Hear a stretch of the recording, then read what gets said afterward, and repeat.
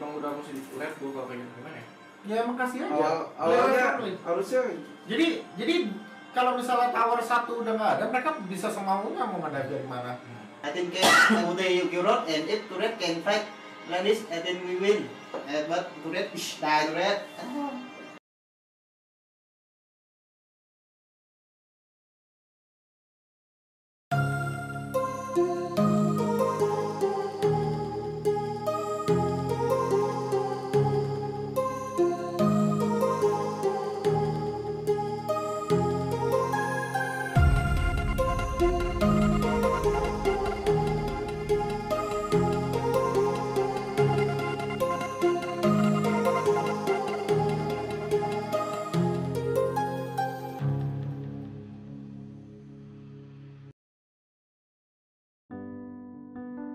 Kita pakai jadwal sih. Eh, scrim itu kita eh, di jam 7 mulai, tapi kalau misalnya emang dapat scrim siang ya kita ambil scrim siang.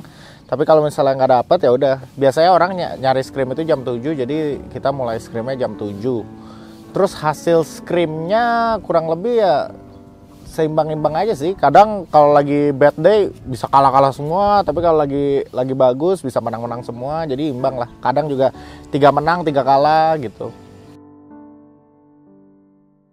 Ya, kita udah nggak pakai kuota game ya sekarang. Kita sekarang jadwalnya itu tuh pakai jam. Jadi jam segini harus solo queue. Kita bangun itu jam 8. Siap-siap lu mau ngapain, mau mandi kayak apa. Yang penting jam 9 udah di ruang latihan. Terus solo queue sampai jam 11. Jam 11 kita makan siang. Habis itu solo queue lagi sampai jam 3 pas setengah 3 gue gue nggak pernah nap lagi. Jadi pokoknya ant- antara setengah tiga atau jam 3 itu nap. Eh, abis itu bangun satu jam berikutnya terus solo queue lagi sampai jam 6 terus eh, istirahat makan eh, jam 7 scrim gitu sih. Terus sampai kira-kira kelar scrim BO5 BO5 atau B- BO5 BO3 sekali BO5 sekali BO3 sekali gitu. Atau BO5 sekali terus nggak dapet lawan lagi terus udah. Evaluasi tidur kita scrim sebenarnya lebih seneng kalah sih kalau misalnya di scrim. Kayak kalau misalnya menang belajarnya dikit. Kalau misalnya kalah belajarnya lumayan banyak.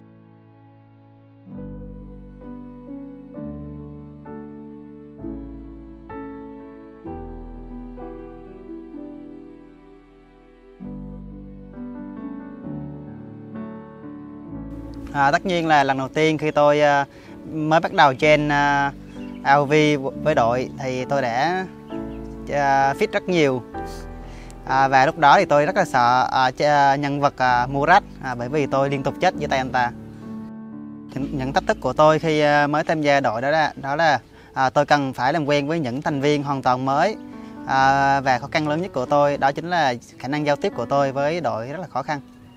À, thực sự lúc mới đầu à, chơi AOV thì tôi gặp rất nhiều vấn đề à, đó là đó là khả, khả năng di chuyển của tôi rất là tệ. À, và kiểm soát lính. À, và tôi à, cố gắng à, cải thiện à, được những vấn đề đó để tốt hơn à, và theo kịp với đồng đội của mình. À, tôi chỉ có thể à, cố gắng sức tập trung tập à, tập trung và cố gắng gắng hết sức mình. Bên cạnh đó thì tôi sẽ xem các giải đấu lớn như là L- LCS, ROS à, ở Thái Lan à, để có thể khả năng để có thể cải thiện à, tốt khả năng của mình hơn nữa. À, tôi chơi server Đài Loan khi livestream à, bởi vì à, ở server Đài Loan thì tìm game nhanh hơn ở Indo à, và cái môi trường răng ở bên Taiwan thì tôi nghĩ nó tốt hơn Indo rất nhiều. So về kỹ năng của tôi với các thành viên trong team thì à, tôi nghĩ bởi vì tôi chơi à, AOV không được lâu à, cho nên tôi chỉ có thể cố gắng hết sức mình à, khi chuyển sang một game mới thì à, có rất nhiều khó khăn và để cải thiện những khả năng đó những khó khăn đó thì à, tôi cần phải có tập có sự tập trung cao và chơi thật là nhiều. À, và bên à, chơi thật là nhiều để nhận biết được các kỹ năng của các nhân vật à, và tất nhiên là phải xem giải đấu à, rất là nhiều.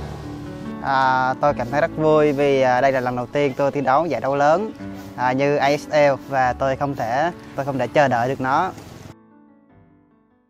Minki, wah ini menarik banget nih topiknya. Eh, Minki ini cepet banget ya gila sih dia baru main sebulan udah levelnya udah udah bisa dibilang di setara sama pemain ASL lainnya lah baru sebulan main. Gue ras gue optimis banget sih sama Minggi jeleknya dulu deh jeleknya dulu. Ah, dia itu eh, suka ngomong hal-hal yang nggak penting terus sore sore kenceng lagi ya sih nggak tahu nggak tahu situasi lah mungkin emang karena nggak ngerti bahasanya juga kali ya jadi dia nggak bisa baca situasi gitu ini situasi gue nggak seharusnya ngomong nih harusnya tapi dia nyerocos terus uh, Minki itu. Tapi kalau misalnya kita ngelihat positifnya, banyakkan positifnya. Dia itu uh, try hard, niat banget nih di AOV ini. Terus Minki itu uh, pengen banget belajar, terima masukan gitu mau dia. Terus Minki itu uh, bangun paling pagi dari antara kita semua. Apa ya? Oh, nggak pelit. Minki nggak pelit. Dia tuh suka suka beliin temennya aja gitu makanya nggak pelit bagus Minki bisa dimanfaatin in game Minki ya hmm in game Minki ini udah bagus ya dia mungkin kalau misalnya individual skill dibandingin sama Hans eh, sama DS-DS yang jago kayak Binks mungkin masih kalah kali ya landingnya. Tapi kalau misalnya itu buat sekarang. Tapi kalau misalnya makro Minki ngebantu banget sih. Jujur aja justru yang kedua paling banyak nge-shout call itu si Minki pertama gua terus kedua Minki biasanya itu Falah tapi setelah Minki dateng jadi Minki banyak nge-shout call info jalan terus walaupun ngomongnya terbata-bata ya.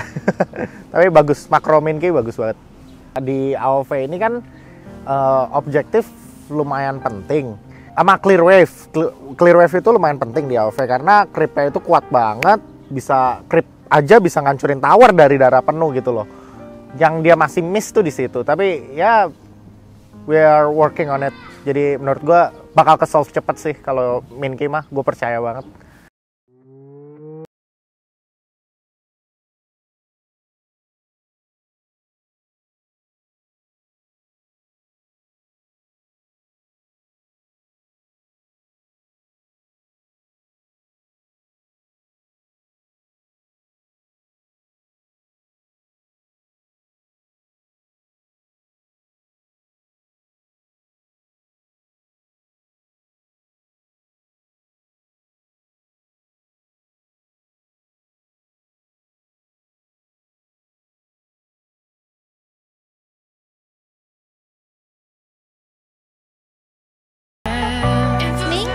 dan B harus terstun terkena Flying Fear mana sekarang Minky harus lawan Hitler dan Hitler melawan Cliff dan mana Agil langsung saja membunuh Awas dari belakang. Malo dan Gofon di double kill oleh B Firman udah mati lagi. Wah, team wipe didapatkan dari tim Bigatron Esports. Lagi. banget. bakal langsung saja di end, tim. Bigatron Esports Congratulations untuk tim Bigatron Esports.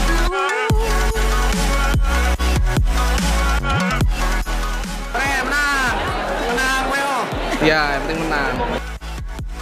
Yeah. À, cuối cùng tôi cũng đã có thể chứng minh được à, khả năng của mình à, à, cho đồng à, khả năng của mình à, với đội và tôi nghĩ đó là sự khởi đầu tốt của tôi và tôi sẽ cố gắng hơn cho giải ASL tuần tới. gue kaget sih ngelihat Minky dia kalau misalnya on stage gitu lumayan on fire ya soalnya eh, dia main kill growth lawan Airi yang seharusnya losing match up tapi dia bisa solo kill solo kill itu bagus banget. Sama yang main Seniel dia nggak pernah miss clear wave. Ulti selalu tepat waktu makanya gue rasa Minky bagus banget. Gue lumayan seneng ngelihat performa Minky sama Bayu. Dua-duanya mantap. Eh, sebelum week pertama ASL itu Headhunter kan emang ada eh, masalah, ada problem dikit, ada perubahan roster lumayan banyak. Jadi kita emang expect buat menang 2-0 sih lawan Headhunter emang udah expect. Kalau misal berkembang sih jauh banget ya. Ke- kalau misalnya kita lihat ke belakang, Bigatron sebelum-sebelumnya lumayan hancur. Kalau lihat sekarang sih ya progres pastinya ada. Tapi kalau misalnya udah puas apa belum sih belum ya.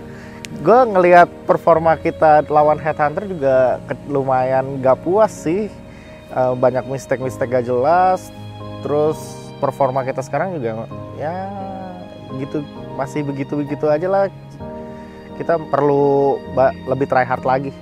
Week selanjutnya lawan SES kita pastinya eh, kelihatan banget sih di week 1 kalau misalnya SES itu skillnya emang udah jauh di atas kita jadi kita harus lebih try hard lagi sih buat lawan SES Eh, banyak banyakin latihan lagi. Porsinya nggak cukup segini doang harus dilebihin lagi sama paling analisis gamenya lihat replay-replay luar ya itu sih persiapannya.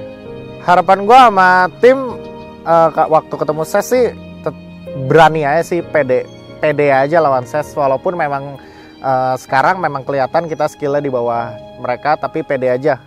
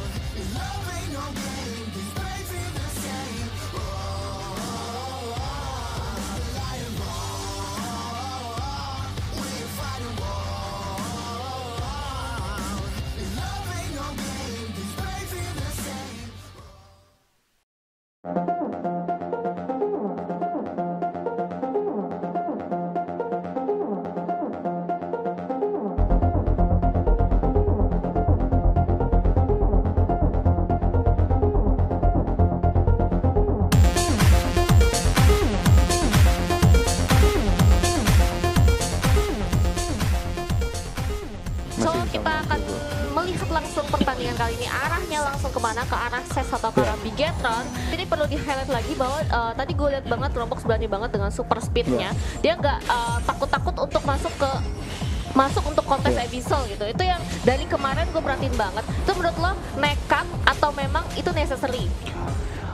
Untuk ngambil-ngambil Oh, Yang gagal dikeluarkan oleh AG tadi dan AG sini harus saja menerima kill dari teman-temannya untuk menyelamatkan dirinya tadi. ya bagus banget ya pergerakan banget ya. dari AG. Ah, dari tim Bigeron dan Nasi udah hampir saya dan 212 pasif ya sudah dikeluarkan sementara Paul di sini harus tumbang dan tower pun dari Bigeron Esports satu persatu harus runtuh beserta di sini ada Drake yang membantu tim SES menghancurkan tower di high ground di sini. Timola kayaknya nggak bisa berbuat apa-apa juga. Dark Dominion yang dikeluarkan tidak mampu untuk menyelamatkan sang Timola mana sekarang bakal menjadi kemenangan untuk SES asli enak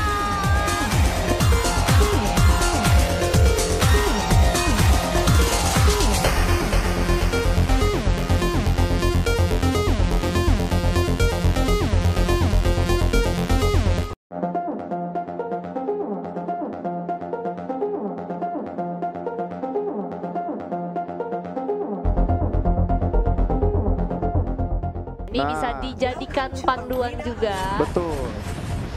bagaimana cara menggunakan Peina dengan baik dan benar. Iya. Tunggu AG saat yang tepat. Harus Oke ada tim main geng tapi ada Timola datang langsung membantu nih sepertinya dan talent kill sudah dikeluarkan juga. Oh sorry bukan maksudnya uh, skill kill dari Peina. Iya, di mana mereka bisa ngelawan balik.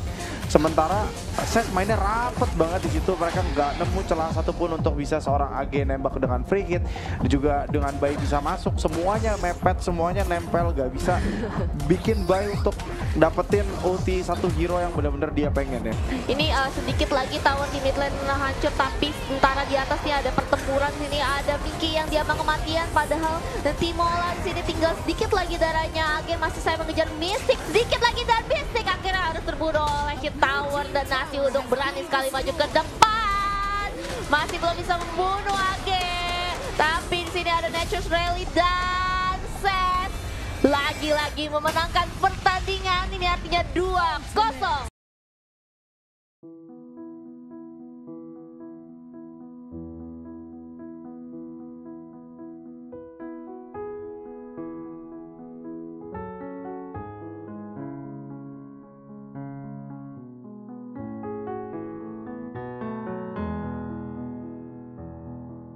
If if mid tower already gone, already destroyed, you cannot defend Tôi tôi red tôi red tôi red Phoenix P bắt tên Huawei Train Reaper.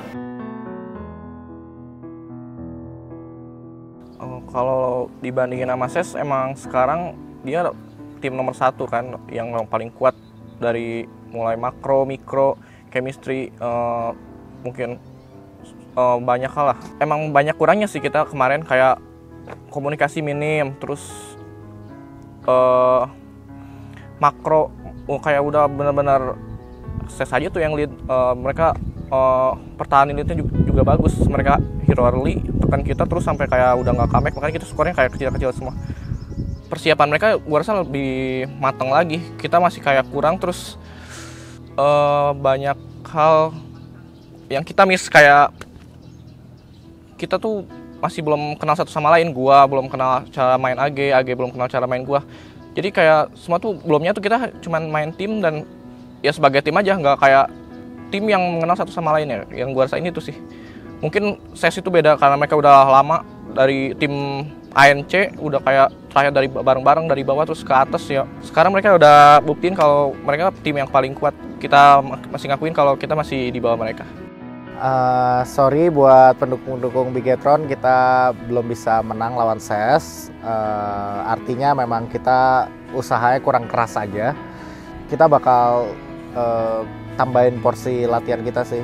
Eh, kita bakal berusaha lebih keras buat next turnamen kita, next match kita itu lawan EVOS tanggal 27 dan nanti kita juga bakal ngewakilin Indonesia di PVP Sport di Singapura itu tanggal 1 Oktober kita terbang, tanggal 2 udah main. Jadi kita bakal ngejar dua itu dulu.